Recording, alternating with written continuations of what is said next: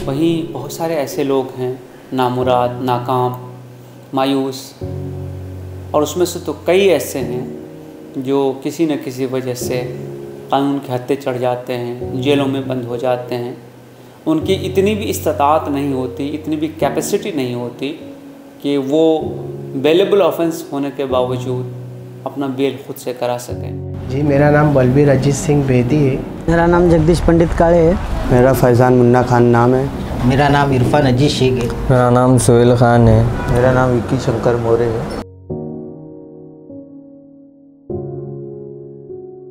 मेरा नाम नईम अख्तर है उर्फ़ गुड्डू सगीर अंसारी। मैं भंगाड़ उंगाड़ खरीदता था पहले औरत अपनी माँ की इधर चली गई थी। तो उसे झगड़े हुए थे थोड़े बहुत चली गई थी। तो टेंशन में दारू पीने लगा था। फिर दारू वारू छोड़ दिया था, सब। पाँचों टाइम की नमाज़ पढ़ने लगा था। बच्चे लोग बार बार बोलते थे कि, बेवड़ा, नमाजी कब से हो गया? मौलाना बन गया बेवड़ा। तो मैं दो चार बार उनके घर पे ओढ़ाना दिया। मैं बोला, देखो खला ऐसा ऐसा बोलते तो कुछ बोले नहीं तो उसने ऐसा बोला। तो बस मैंने उसको मार दिया। मारा मैंने, वहाँ से मेरे को घर से उठा के लेके गए, चौकी में। मेरा भाई बाहर आ गया अल्लाह के करम से। जी अपने हमें छोड़ा, मेरे भाई को छोड़ाए, बाहर निकाले। पूरी कोशिश उसने, उन्हीं की है। उनका बहुत बहुत शुक्रिया। मेरा नाम जगदीश पंडित काले है। मैं कोपर में रहता हूँ। कोपर कहना स्टेशन के बाजू में ट्रेन खड़ी थी। उस पर बैटरी रखेला था। वही बैटरी उठा के हमने साइड में रखा था वो। उसके वजह से मेरी बहन का लड़के को पुलिस ने उसको पकड़ा। उसने मेरा नाम बता दिया कि ऐसा मैं भी था करके। उसके वजह से मेरे को घर से पुलिस आके लेके गई। तेरह दिन अंदर रे मुलाकात, बिलाकात कुछ नहीं मिल रही थी हम लोग को। बच्चे का पूरा याद आ रहा था घर वाले का याद आ रहा था। और मेरे तीन चार मतलब तीन बच्चे हैं, एक लड़की थी, छोटी वाली डेढ़ महीने की, वो तो डेट हो गई। अभी तीन ही है मेरे को। हम बहुत तकलीफ़ है हमारा।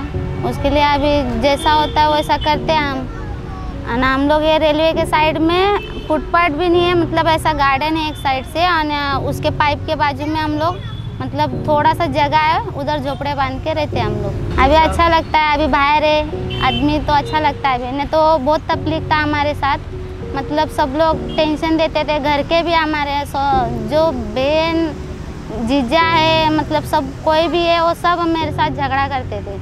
मतलब वो लोग बोलते थे क्या ऐसा हुआ वैसा हुआ करके हमारे के साथ अकेले को देख के मेरे मतलब बोल रहे थे। अभी मैं तीन तीन बच्चे लेके बहुत इधर उधर जाना, मेरे को बहुत तकलीफ़ हुआ। गाड़ी में आने जाने का। एक तो लड़की मेरी उस दिन छूट गई थी, फिर से उसको लेके आई मैंने। अच्छा हुआ क्या वो पुलिस वाले लोग स्टेशन पर रहते हैं ना, वो पुलिस वाले लोग, उसको बिठा के रखे थे। तो जाके मैंने लेके आई उसको। एक लड़की मेरी बड़ी वाली छूट गई थी।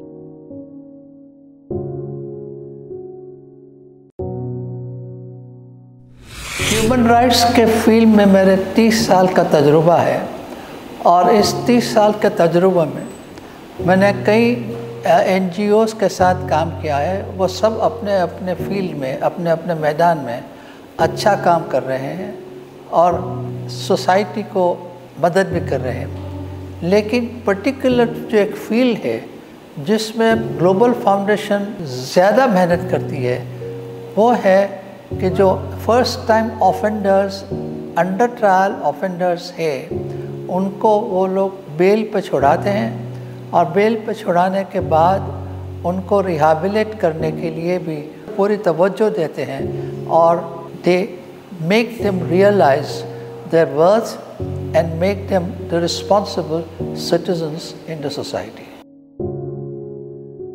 इस काम को करने के दौरान अल्हम्दुलिल्लाह काफ़ी सपोर्ट आया, काफ़ी लोगों की तरफ़ से अच्छा सपोर्ट आया, जिसकी वजह से पूरी टीम का हौसला बढ़ा है और काम करने में और इम्प्रूवमेंट हुई है और काम और ज़्यादा बढ़ा भी है। इसके साथ ही बताना चाहूँगा कि इस पूरे काम के ड्यूरेशन में काम के तरीक़ेकार में कोई तब्दीली नहीं आई है। हमारा जो पॉलिसी और जो काम का तरीका पहले था कि सिर्फ़ नॉन हैबिचुअल क्रिमिनल्स को रिलीज़ करने के लिए हेल्प करना है, ऐसे कैदी जो नॉन पेटिक क्राइम्स में है, जो छोटे छोटे क्राइम्स में है, ऐसे लोगों को ही रिलीज़ करना है। साथ ही साथ कैश बेल जिनका ऑर्डर कोर्ट से हो जाएगा और जो भर नहीं पा रहे हैं, जो गरीबी की वजह से पैसे नहीं भर पा रहे, उनकी मदद करनी है। ये पॉलिसी वैसे ही चल रही जैसा पहले चल रही थी। समाज में कुछ बेहतरी लाना चाहते हैं, लोगों की मदद करना चाहते हैं, परेशानी में फंसे हुए लोगों को सपोर्ट करना चाहते हैं गाइड करना चाहते हैं और जो आम लोग समाज के हैं, उनमें अवेयरनेस क्रिएट करना चाहते हैं। तो उनमें ग्लोबल केयर फाउंडेशन का मैं समझता हूँ कि शुमार बहुत अगली सफ़ में होगा। मैं ग्लोबल केयर फाउंडेशन के तमाम ज़िम्मेदारान को मुबारकबाद देता हूँ। नौजवान सारे हैं कि उन्होंने ये ज़िम्मेदारी उठाई है।